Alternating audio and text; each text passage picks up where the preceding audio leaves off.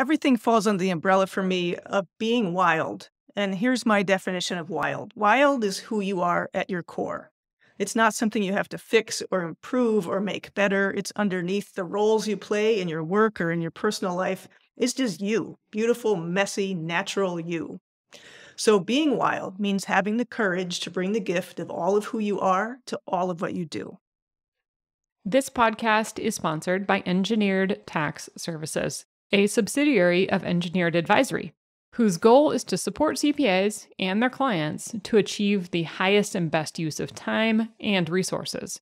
ETS offers specialty tax services and incentives, which help expand your capabilities and ensure that your clients are paying only what is required in taxes and nothing more. To learn more about engineered tax services, go to engineeredtaxservices.com and mention the Healthy, Wealthy, and Wise podcast to receive project discounts, and a free CPA partnership ebook.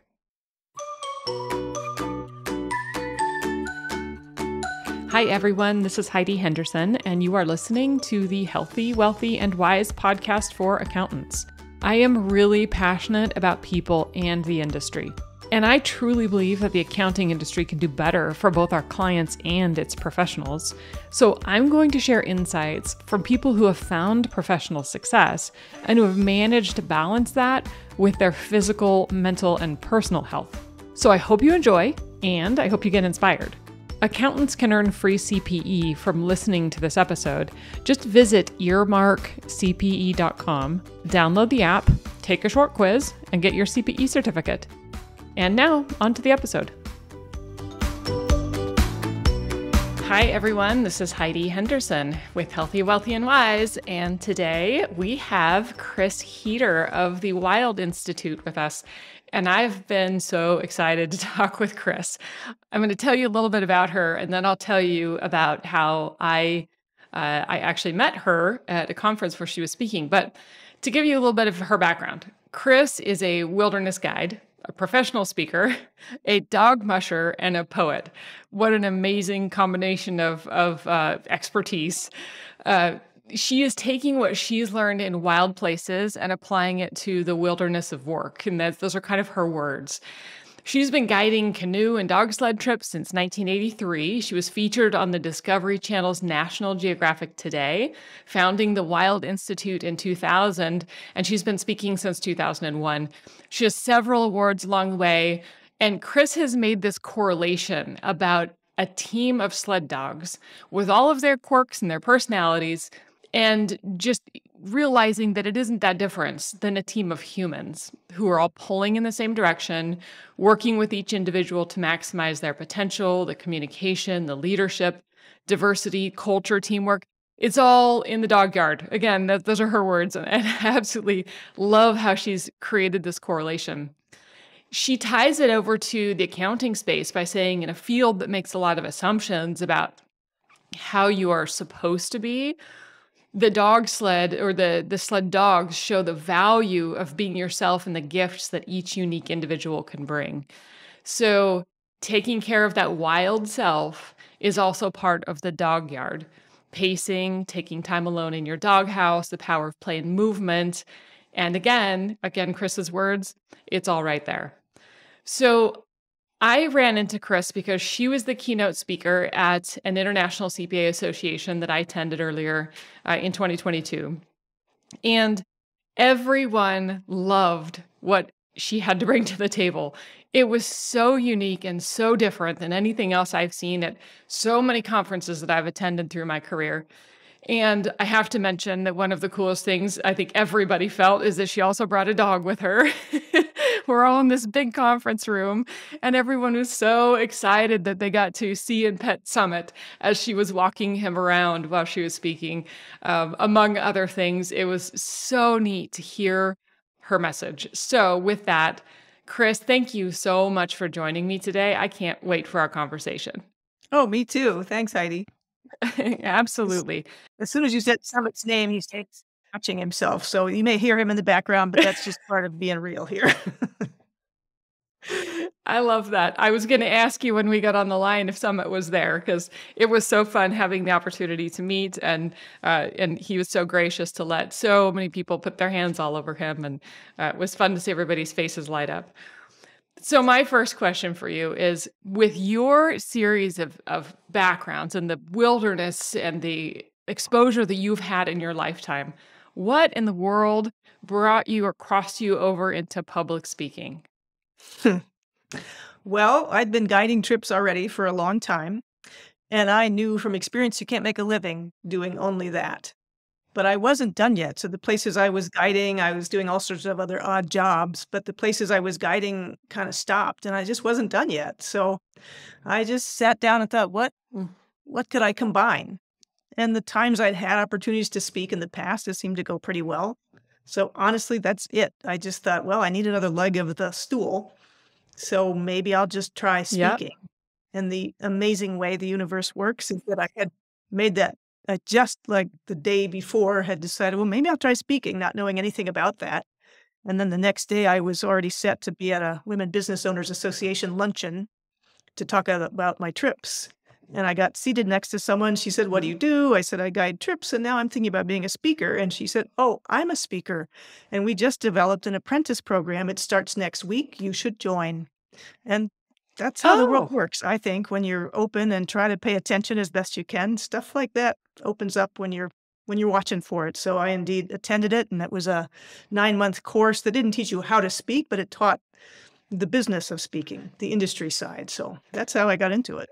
oh, okay. Wow. I mean, it's so serendipitous. I had this conversation with a friend yesterday about how when we start to think about something, it's amazing what kind of comes our way. Yeah, And so to, to tie that back to you, and I think why your message, and, I- and I do want to get into your message a little bit more as well, but uh, I was excited to just ask you some of these questions first. But I think it resonated a lot with me because I'm an animal person. I have three dogs. I've had dogs my whole life. Uh, my my son's a skier, professional skier.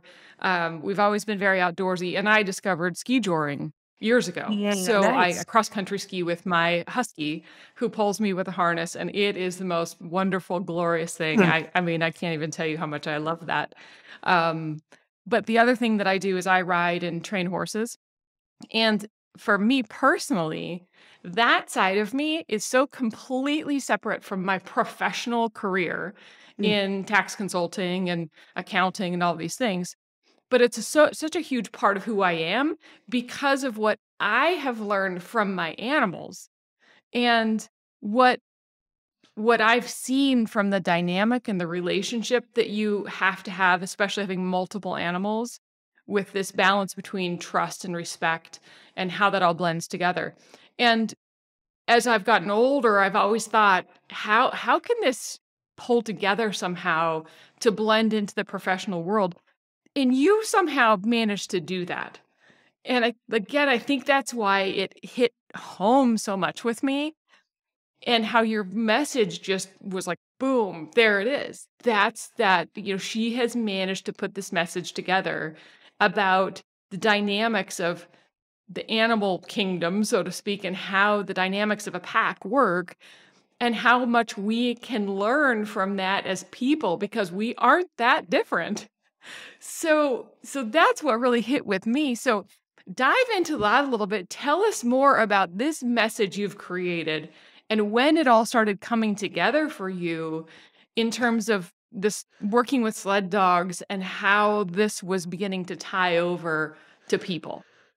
Sure. Well, I would submit, Heidi, that it does cross over even for you. If you work with horses or you're ski joring with your husky, what you're learning about patience and communication, all that, there's no question in my mind that that translates. I just decided to put words to it because I think any of us who interact with hmm animals, ha- it's just a different way of being, and you can't use your words in the same way. And so we have to listen differently and communicate differently. So, all that I'm quite sure would show up for you in your work as well. Um, so where it came up for me, let me think. Just so many years of working with the dogs and recognizing some of the stuff I was saying just was right there. It completely applied whether I was working with a dog or a human. So I think really I just I live in the world of metaphor and analogy. That's probably the poet side of me. So it was pretty easy to start tying that together. And I would guess actually early on, I guided a lot of whitewater canoeing. And I've created a whole Mm. speaking speaking program about that too, that takes navigating whitewater the same way you might apply it to work um, in terms of communication. And, and it's because things would come up like i would say to someone who was trying to practice their ferry so you're in a, in rapids and you can go sideways around rocks instead of bashing into them so i was teaching her and they were practicing where there weren't rocks and i could barely stay behind her and i said you know i think you got it you're doing really well i can barely hold still as much as you are and she's no i don't i don't feel like i have it yet i don't have enough control and I said to her, The amount of control you're seeking is unattainable. And she threw her hands in the air. She goes, Oh my gosh, the story of my life. and I just realized things like that are what started tying it back and forth for me. And then just like you said, animals are such incredible teachers that um, it it just the more you look, the more you will see those kind of comparisons. Yeah, yeah, absolutely. So, talk a little bit about this message. This you created the Wild Institute, and what what is it that you feel like you're sharing with people that seems to hit home the most? I would say no matter what I'm doing, whether I'm guiding trips or speaking or writing or training, whatever, everything falls under the umbrella for me of being wild. And here's my definition of wild wild is who you are at your core. It's not something you have to fix or improve or make better. It's underneath the roles you play in your work or in your personal life. It's just you, beautiful, messy, natural you. So being wild means having the courage to bring the gift of all of who you are to all of what you do. And that for me kind of sums up everything I speak about or what I do is to try to have all of us step a little closer to ourselves and not be pretzeling ourselves, spending all this energy doing or trying to be something we're not. And that fits no matter what the topic is, whether we're talking about leadership or teamwork or even atta attracting and retaining employees, any of that really comes down to can we show up our true wild selves and then truly welcome that in another? Yeah, that's a huge message. And I think one thing you had talked about, and to that point, um, is in the professional space, there has always been this long standing persona that we need to be professionals.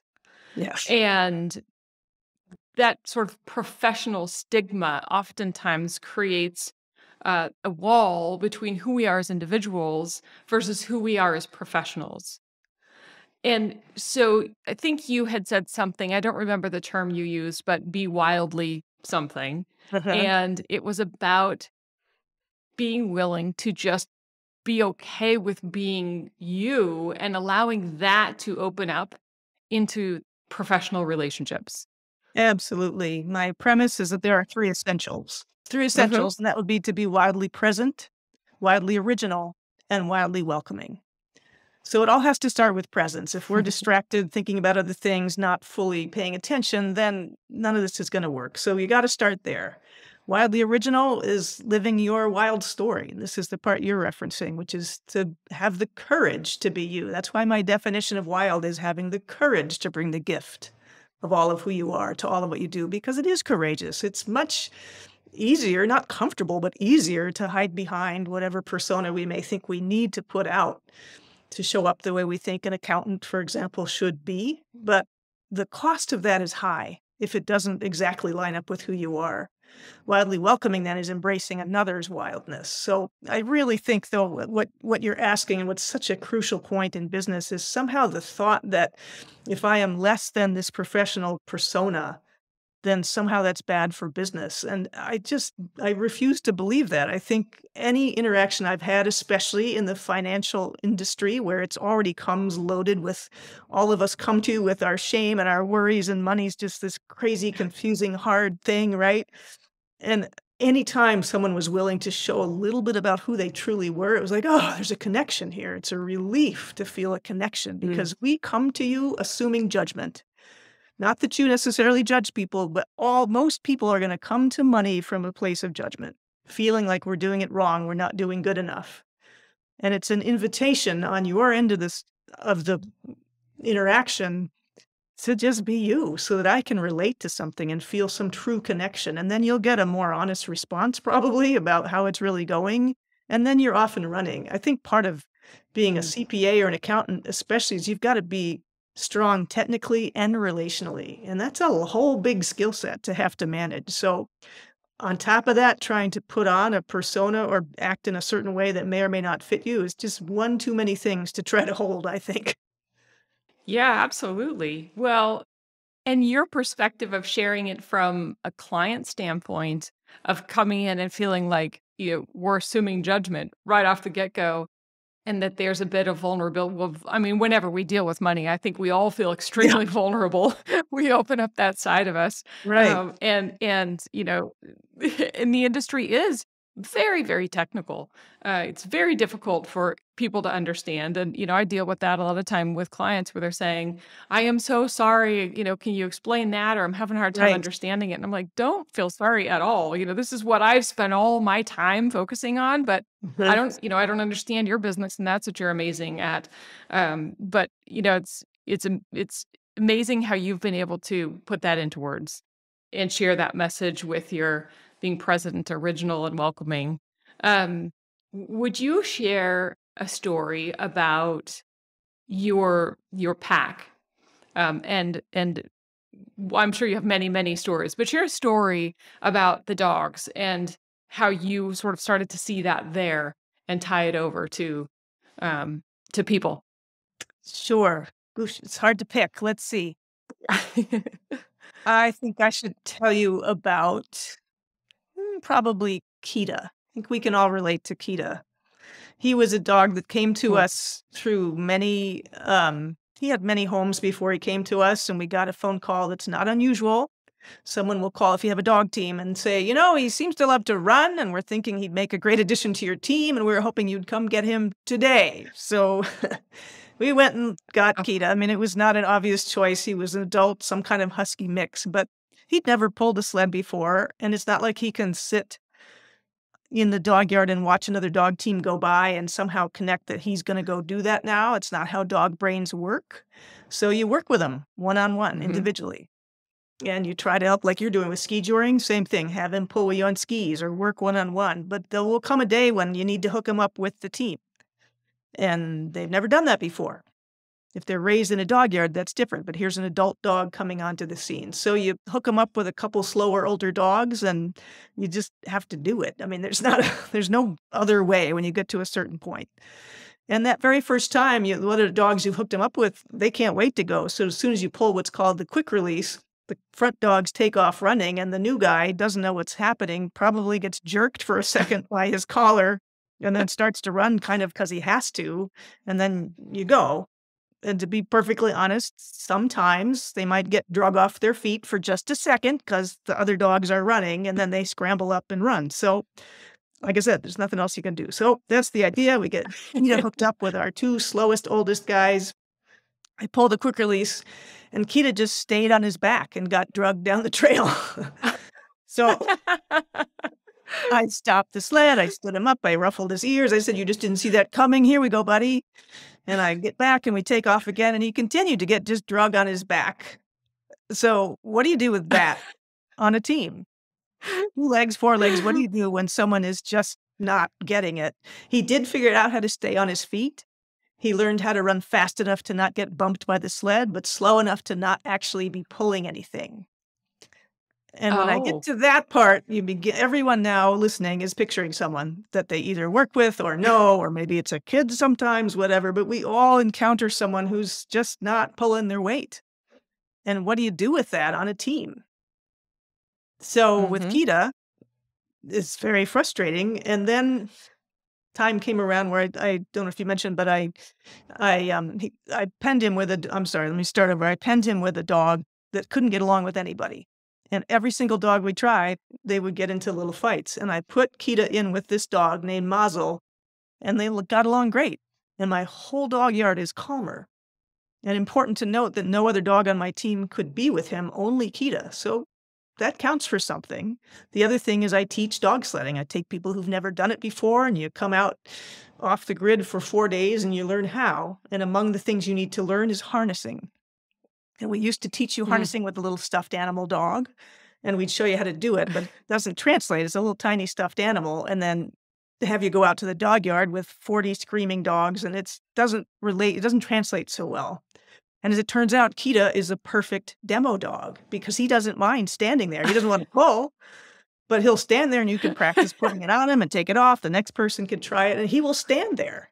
Now, if you did that with a sled dog that loved to run, once the harness is on, that means they get to go. And if you took it off without the running part, they'd be quite upset. So, once again, Kita is doing something for my team that no one else on my team can do. So, the relation back to people is the great reminder from Kita that everybody has gifts. And before we write somebody off, we might get to know them a little bit better and make a few adjustments. And pretty soon they're doing something that really works in a way. They bring a different perspective, they bring things that we wouldn't see from our standpoint. So, yeah, he drives me crazy. He always hmm. will. But he is also my reminder that everybody has gifts. So that's usually what I do is I'll have a Wow. million stories about dogs and then kind of how that ties back, particularly to the workplace. Yeah, yeah. Well, I I love that story. I was I was speaking at a conference earlier this summer and someone asked me it was about having difficult conversations and someone asked me the question, what if you have someone who doesn't fit the mold or they're just not, you know, they're not doing what you need them to do? Can people change? Can you Mm. encourage them or mentor them or train them into change? And my response to that was, you know, it's a difficult it's a difficult question because people absolutely can learn and grow and evolve 100%.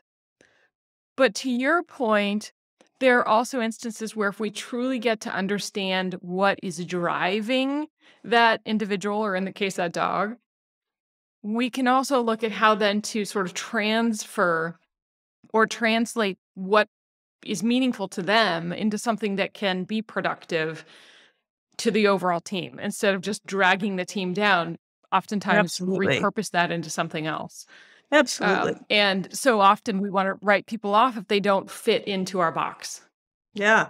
And I would, my response to that would be sure, people can change, including us. As long as we're putting it all on one side Mhm. of an equation that that one person needs to change to fit our mold. For one thing, that firm or Mm. whoever is not is not going to make it because if you keep hiring people that look and act just like you, you will get the same results. Uh, which doesn't work in a Oh. in a marketplace that needs to keep growing and changing and embracing and including. So Kitas are just great reminders that, okay, if we're both willing to flex and look, and if we're both willing to show up wild, we'll find the little Mhm. fits, the ways in which it's often just a small adjustment, and then that person's off and running, as opposed to firing and Oh. trying to hire someone. I mean, that is just a painful, painful loop. So that's my that would be my Mhm. suggestion. Really, is that we both change, not just expect one half of an interaction to change. yeah yeah absolutely. So so then give us a give us a scenario where you then had the perfect team.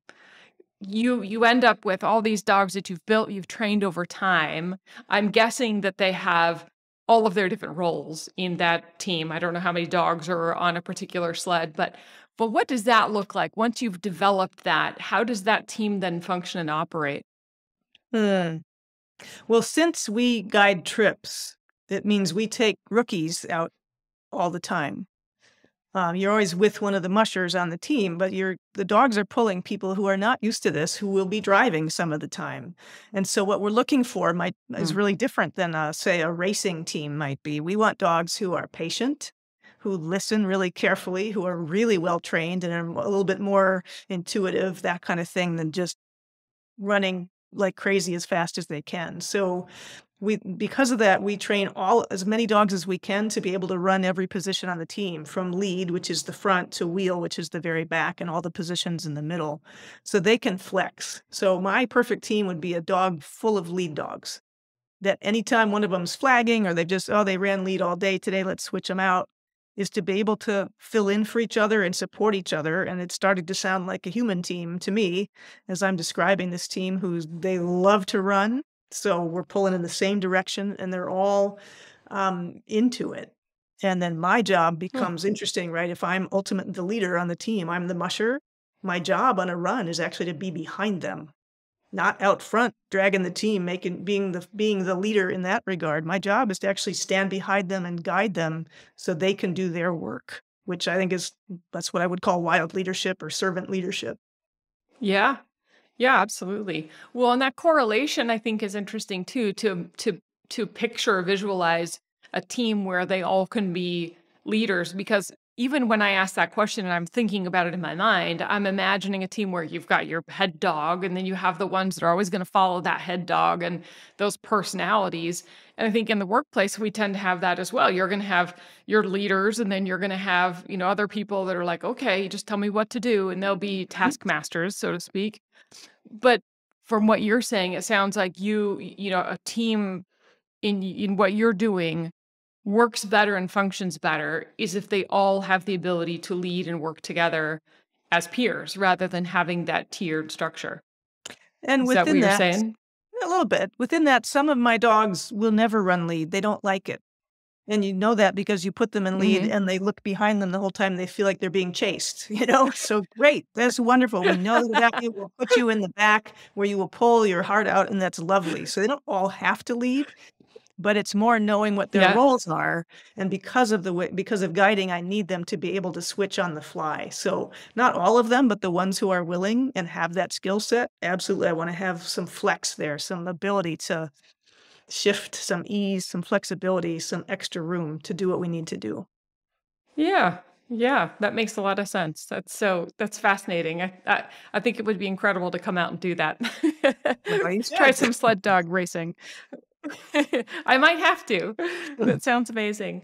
Um, so so in terms of developing the overall message, so you said that you you met this person who actually helped you kind of learn the business of speaking. How did you then start to formulate the message? Because I again, your message is really laid out beautifully and you've got these three components you know be wildly present be wildly original and wildly welcoming and tying that all back to your stories with the animals. Was this something that you sat down and created or you just literally been evolving this over 20 years and every time you speak it it gets tweaked a little?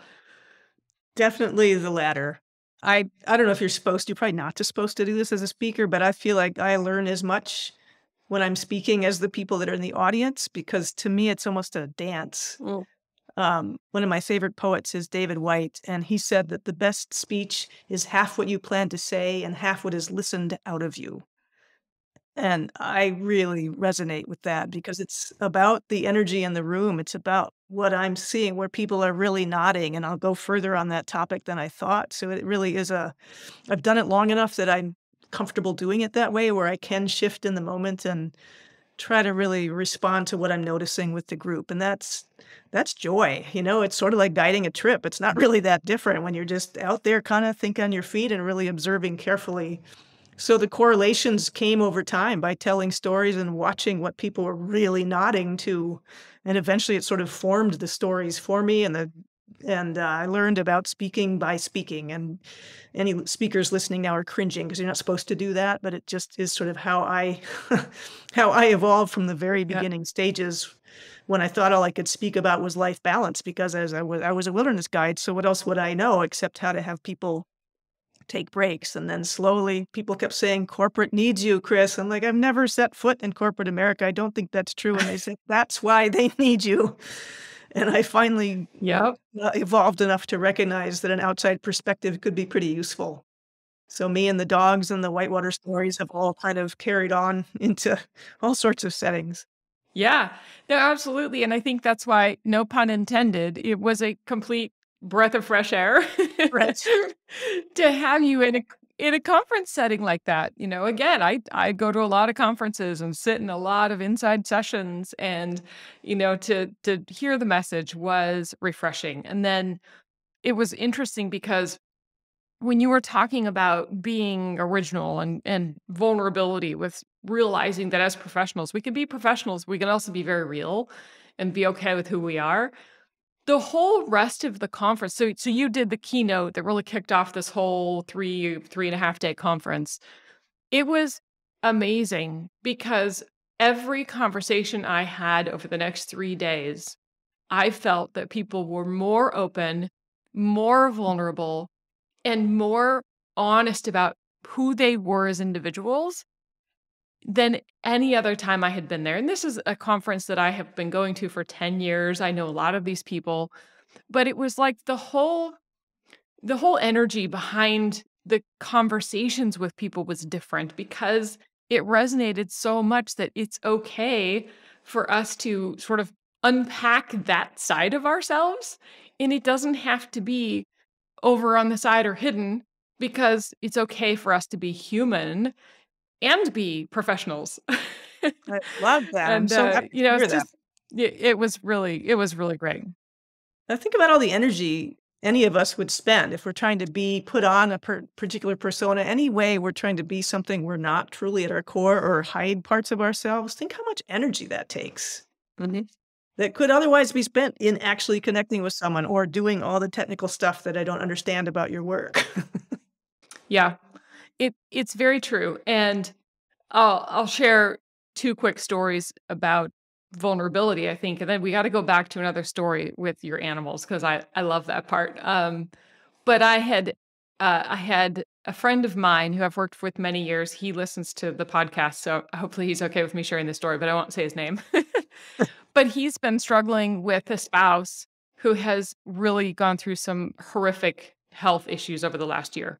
And for the first time in his entire career, he has had to be a caregiver at home and still be doing his job. And it's, you know, the the CPA industry is extremely time intensive, especially during tax season. Yep. And he was telling me the other day that his partner told him, you know, it's okay for you to tell people what you're dealing with Mm. and explain that, look, things are coming in a little bit later than normal. I may be a little bit less responsive than it has, and this is why. And he was a little bit appalled at that, at the thought of opening that side of him because of the vulnerability of letting that out. But that's the realness because he is struggling with something that is so difficult. And yet he has all these clients that he's worked with for years, years and you meet 20 plus years who have no idea, no clue, and maybe put pressure on him because something's a few days late. And that I think is where I, I think COVID too is really beginning to break through that ice of allowing us to open that gap and realize that we are all humans and it's okay for us to share those vulnerabilities and and open that up with each other.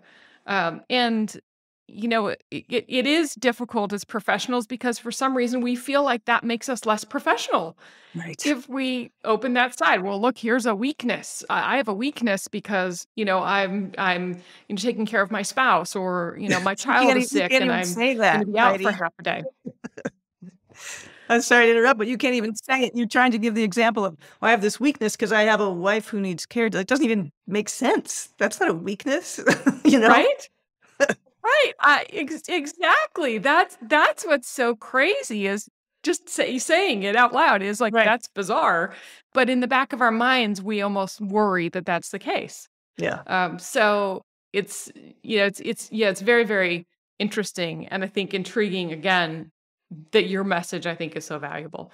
So do you feel like after COVID, and since I sort of brought that up because I think there has been a shift with with Yep. people being more open, have you seen that as you continue to speak? You've been speaking now for 20 years. What has been that big change and shift that you've seen with people in that area? Yeah, I think that's true. COVID allowed us into each other's homes in a lot of ways with Mm. Zoom or whatever platform. But um, Yeah. every time I spoke virtually, I, I urged people to not not use some fake background. But if we don't get to be together physically, then when I'm speaking, I want it to feel like you're sitting in my living room with me, right? I always position myself so I have my dog behind me on the couch. So it feels like welcome, welcome to my home, right? And we did get to see that with each other in a really different way. And you just had to share more. People who were working from home were differently available than they were if they're in the office, which means 24 hours a day, they're right a click away. And somehow they've got to separate work Yep. and personal life. So I think it did open us some and it sure got us in a, it fast forwarded our ability to do things virtually. So that's some Mhm. benefits. And I think you're right. I think it just did allow for a bit more vulnerability. And it will be really interesting to see now as we're moving back more to face to face, at least in some circumstances, whether that veneer comes back up or not. And I sure hope not, because I keep going back to how much energy it takes. And it's just, Mm. I don't know what to say, it's wrong thinking to think that somehow if I show you who I am, it will you will think me less than professional. Right? It's been driven into our heads. Yeah. So I get why we think that. But when you when you even take that apart a little bit, it doesn't make any sense because I don't want to go to some cookie cutter financial planner or accountant or any I don't want someone who's just going to have this veneer where I don't know anything about you or have any idea what you think about me. I would rather know at a minimum that you're a I don't know, Packers fan or whatever, something to allow some point of connection because then we have the opportunity, the possibility of a relationship. And your work, like it or not, is relational. So technical as it is, the work you all do has got to be at least as much on the relationship score. Connection, belonging, all that stuff just absolutely has to be a piece of what you do. And that doesn't happen when we're all hiding behind our various masks. Because if you do that, I'm going to show up with the mask of the person who knows what they're doing financially, whether I do or not, right? I'm going to try to play my role if you're going to try to play yours. So maybe we just do away with that. Yep, that's a that's a great point. It is. It's a great point how we tend to mirror each other almost automatically. So interesting. So so back to the dogs then. What how how do you handle the relationship with the dogs given that I mean I don't even know how it works with a with a working dog like that, but you know, there's clearly they're not pets. Um, I'm sure they're very different, but I would imagine they still enjoy some type of affection or something. Where is the Um, balance between the respect that they have to have for you and for each other in a hierarchy versus the trust that they have? Because I'm assuming that they have to have a tremendous amount of trust in you as their leader, but they also have to to be really strong. So how, how you know, do you do you have a story or something like that with your dogs of how you would get to that position with one of your dogs or a whole team? yeah, it's not hard to get that. The I should be clear, our dog team is family. They are beloved. And we will Mm, spend any amount of vet care until they're 20 years old if they ever live that long. I mean, they're just it's not a we aren't a working kennel in the form that we just have to keep cranking things out and have so many dogs that we can't even keep track. I mean, that's not what we do. So, first and foremost, the dogs are everything. And so they are very, very I loved. I appreciate that. I I appreciate you saying that. Yeah. And so within that framework, it isn't hard. Uh, many of them were pups that my mushing partner raised since it was there when they were born.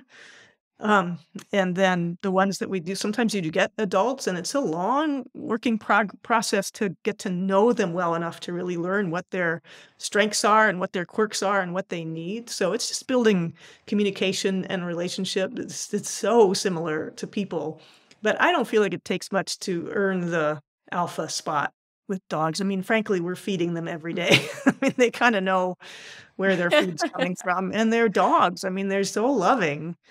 We don't teach them to stay down on all fours. We don't mind if they jump up because bending over to pet 30 dogs is hard on your back. So most all of them will put their paws on your shoulder and give you big kisses and hugs. And that's that's part of our every single day is lots of interaction like that. Oh, that's amazing. So how do you then deal with if you have to, maybe if they just all grow up together, there's no issues with the interrelation between the dogs, or is there? Do you deal with any hierarchical issues? I mean, I know I the only again, I I have some dogs. I deal with that at times, you know, with an Sure. alpha dog who's here, and as young ones are growing, who's boss, who's not.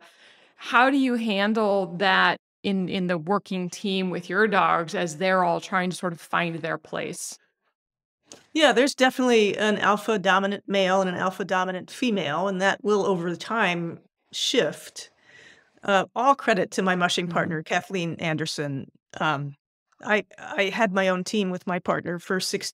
We had 16 dogs for many many years and stuff, but now I mostly work with her dogs. So she lives year round, full time with these 30 dogs, and She works with Mm. them so beautifully. And her stories, we could go on forever with the dog who was part of a racing kennel that he didn't really fit the bill. And so he didn't get much attention. And then that musher ended up moving to Alaska. And this dog named Foxy was just was going to get placed somewhere. So Kathleen went and got him. And you couldn't put a leash on that dog. You couldn't do anything. He was just a maniac.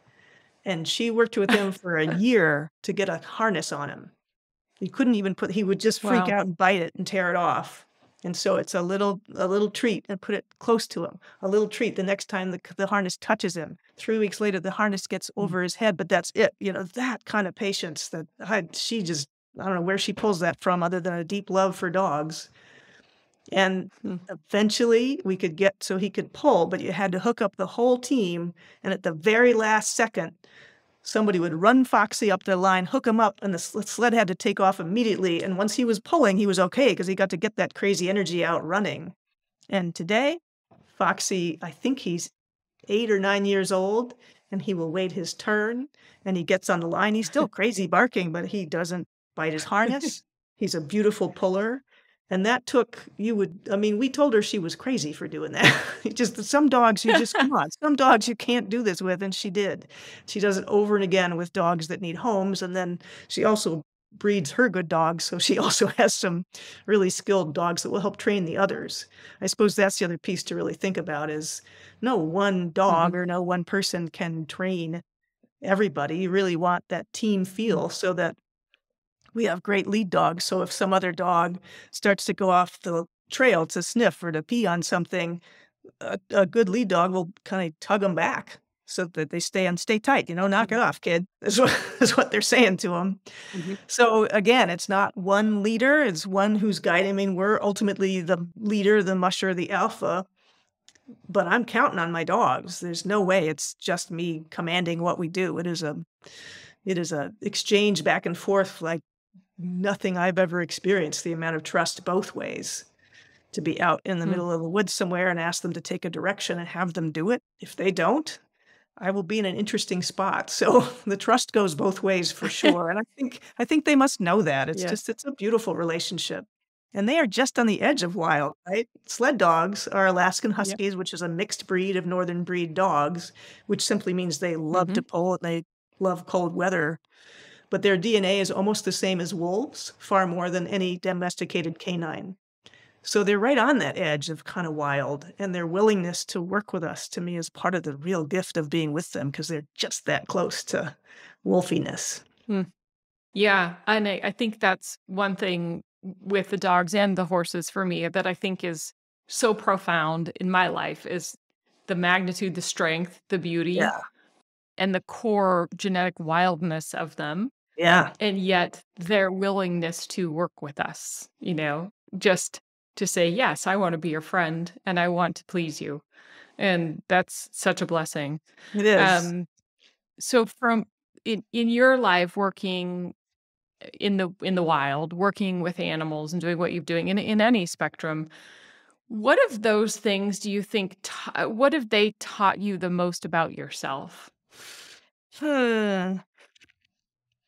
I guess they've taught me to be present, open, original, and welcoming, actually. if I was to sum it up quickly, the presence necessary to connect and communicate is all about slowing it down enough to really connect, not being anything other than Mm. myself, because they can read that. I'm sure your horses can read if you're showing up off, feeling off, or just kind of not fully present. They know. And then welcoming of Mhm. however else someone else is in your presence. So, um, man, I could go on and on on this, I guess, but uh, they're just such incredible teachers. Yeah. Yeah. I agree. Well, again, I I'm so I think inspired by your ability to take all of that and put it into words and create a message that is as succinct and resonates so much into corporate America to your point, you know, and whoever told you that, that you needed to be in that space, you know, kudos to them because uh, that was a that was a great move. In your bio, I know that you are also a poet. hmm So, do you have a, and I hate to put you on the spot, but do you have a poem that you could share with us? Oh, I could do that. If we can hang on for just a sec, I can pull one up. Okay, I got one. this one is called Listening, and I feel like it it ties into particularly wildly original, uh, which is living your own wild story. Sometimes all I can think to do is go outside. When people or politics press too close, when this country glaringly misaligns with what I hold dear, when time feels slippery in its passing. Sometimes all I can think to do is go outside, to the long view and the leaves dripping with dew, where the wind reminds me to breathe deeply, and my furrowed brow relaxes as my eyes rest on the abundant shades of green. Without any thought this year, I have found myself working in the garden barefoot. The garden shoes dedicated to permanent dirt stay in the breezeway as I step outside, I couldn't have said I needed that, but the feel of solid ground, of thick grass, the textures of earth, the welcoming soft tilled soil, all of it heals me a little bit each time, grounding me literally in this place I love, covering my feet in something natural and real, sun on my skin, dirt under my nails. This little piece of wild earth is what I get to care for and nurture, even as it responds in kind. Maybe it's the things we let ourselves do without heavy thought or too much polish that bring us back to who we are. Maybe it's as simple as saying yes to the wisdom inside that whispers to take off your shoes or to walk in the rain or whatever wild notion comes upon us when we let the soft animal of our bodies love what it loves. That is amazing. Thank you so much for sharing that. I, I appreciate that so much. And, um, you know, everything you have to share touches me personally. Mm-hmm. Um, and I'm just so grateful for you joining. Um, to circle back around to the very beginning, you have on your website the quote that you said earlier that wild essentially is having the courage to bring the gift of all of who you are to all of what you do. And I think it's such an incredible message. So thank you again so much for what you're doing. How can listeners get a hold of you if they want to get in touch with you to speak at their firms or to speak at an event or uh, just connect with you somehow? What would be the best way? Probably easiest just to go to the website. There's a contact page and you can see videos of my speaking and things there. So that's www.thewildinstitute.com. Okay, perfect. And are you on social media or primarily just the website? Yeah, kind of. I'm on LinkedIn and a tiny weeny bit on Facebook, but it's not my strength. Uh, and somehow trying to encourage people to you spend more time not... in front of screens feels antithetical to what I speak about. So I don't do a lot of that. I I like that. Well, the website it is, and I believe you have outside. a newsletter as well. So, yeah, that's right. Go outside. Well, Chris, thank you so much again for being a guest. I can't wait to share this with listeners, and I hope that it resonates with people as it has with me. And uh, I believe that you'll you'll likely get some other speaking engagements because it was just fantastic to hear you speak, and I've thoroughly enjoyed your message. So thank you again so much. Thank you, Heidi. It's just a pleasure. And I'm glad you're doing this. To, to broadcast this out in different forms is so important. We need to hear this message over and again because it's not what we hear in our culture. So I really applaud what you're doing. Oh, thank you so much. Uh, it's something I am, it's totally my passion project, that's for sure. And um, you know, you you were one of the many things that continued to push me towards what can I do, even mm-hmm. if only one person listens and is just a little bit motivated to do something a little different and be more real and be more committed to themselves as a whole, holistically, physically, mentally, emotionally, um, and professionally, then that just makes me happy. That sort of feeds my soul. So I love the tax and accounting, but this is the stuff that feeds me. So uh, I respect your opinion and and very excited to be doing this. So thank Beautiful you very thing. much. Thank you.